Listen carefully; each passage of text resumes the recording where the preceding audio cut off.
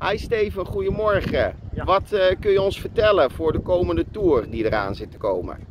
Nou, ik hoop heel veel. We gaan in ieder geval in, eh, in voorbereiding op 29 augustus dat de tour gaat beginnen. In Nice eh, gaan we eh, jullie meenemen alvast eh, in, de, in de, eh, zeg maar de etappes, eh, de voorbereidingen van de etappes, de favorieten. Daarna gaan we een aantal keer een vlog doen op LinkedIn. Met foto's, met tekst. Eh, in verschillende etappes bekijken hoe de wedstrijden verloopt. En al eh, 3 september, vergeet niet, 3 september wordt een uitzending van de avondetappe gehouden in het Bolletjescafé in Warmhuizen.